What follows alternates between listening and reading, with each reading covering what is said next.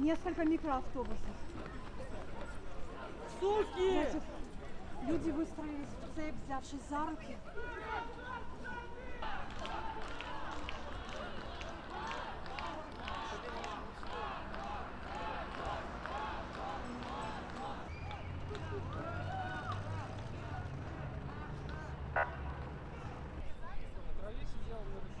Нет, он сидел на, на ограде. ну тогда точно в автозак. Ну что вы?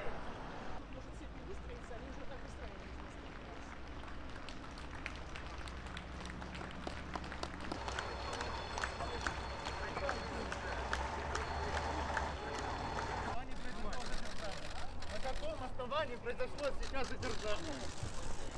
Вы не можете назвать статью? На каком основании?